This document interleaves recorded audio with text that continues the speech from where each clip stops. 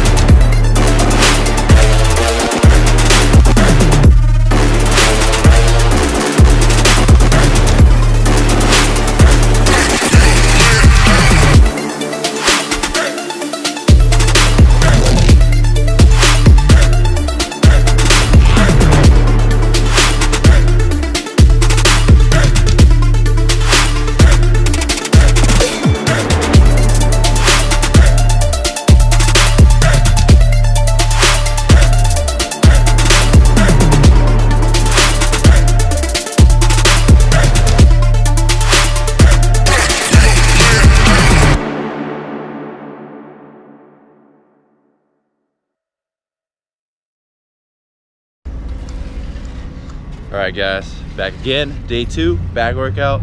Um, my first day was row heavy movements. Today, guess what it's gonna be? Lat heavy. So I'm doing a lot of lateral, lateral, a lot of lat movements, pull down movements. Get some width in those lats, and we'll kill it from there. Show you guys what I do today. Hit some abs, some biceps. It's Friday, guys. Friday. Enjoy. Catch you guys. Day two.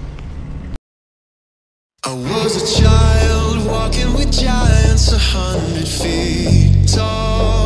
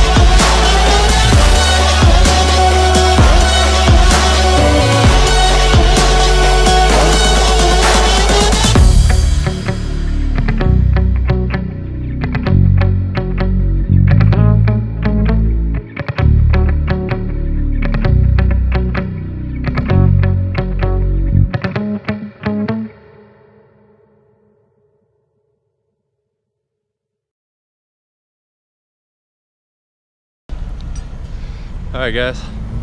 Finished back workout number two for the week, day two. Um, feeling pretty good. You can see the sweat. Got a pretty good workout. Bicep pump afterwards. Afterwards. Still out of breath, guys. Sorry. Uh, heading back to my car. Enjoy the weekend. You guys be safe this weekend. I'll catch you guys on the next one. Oh, happy Thanksgiving for you guys watching this on Wednesday.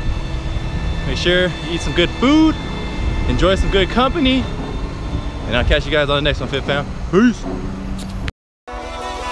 And from the darkness they could hear us screaming